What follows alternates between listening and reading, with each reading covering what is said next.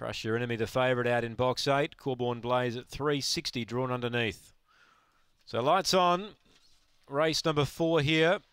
Favourite Crush Your Enemy, they're set.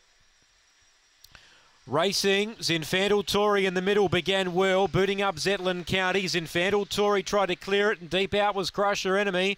It got across all of them. So Crush Your Enemy skips away by three.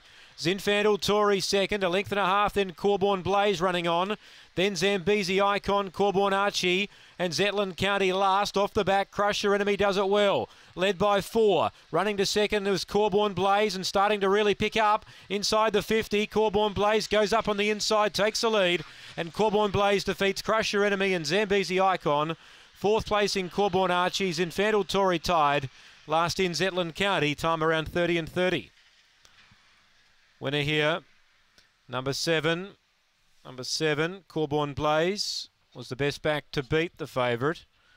Land some good wages. Rallies underneath there of Crush Your Enemy and takes it over the concluding stages. Seven, eight, and four. One is fourth, Corborn Archie.